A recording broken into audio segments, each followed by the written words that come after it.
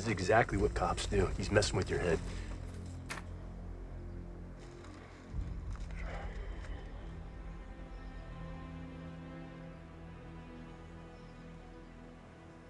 Letty's dead, Dom. I need to know for sure. Then I'm going with you. You said you were gonna leave this life behind. We both said that we were leaving the life behind. He's right. We're family. We got a problem, we deal with it together. And I'll feel safer knowing you're both out there, watching each other's backs. You're stronger together. You always were. Now go get Letty.